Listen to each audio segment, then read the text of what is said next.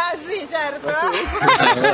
Ah, è andata bene, in realtà ce ne sarà un'altra che forse sarà quella conclusiva a marzo. Sì. E abbiamo ascoltato i testimoni della difesa semplicemente, ne manca ancora una che non era presente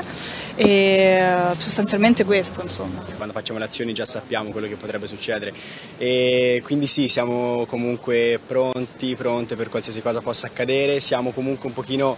dispiaciuti per il fatto che il nostro governo è molto veloce nel reprimere le persone che come noi vogliono portare l'attenzione su questo argomento che è importantissimo, che ci riguarda tutti e che crea molto disagio e disperazione fra le persone che hanno la mia età. Invece è molto veloce ed è qui che vorremmo mettere il punto e sottolineare questa cosa, è molto veloce